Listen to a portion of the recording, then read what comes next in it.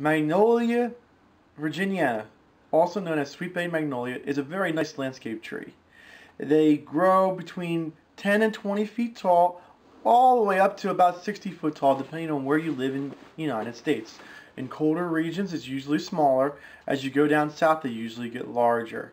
Here in Pennsylvania, I would say the best you would hope for to get them about 30 feet tall in this area. They are a semi-evergreen magnolia, and different from many other magnolias, they do prefer to be in the wetter areas. They can tolerate the wetness.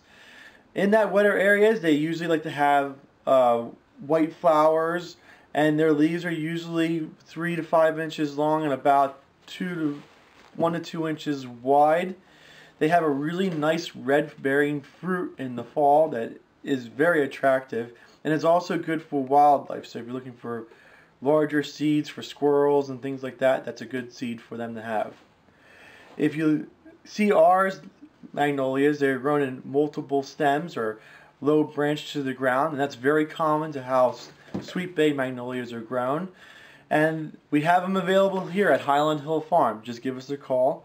Our telephone number is 215 651 8329. In the spring at Highland Hill Farm, we have thousands of trees for you to select from.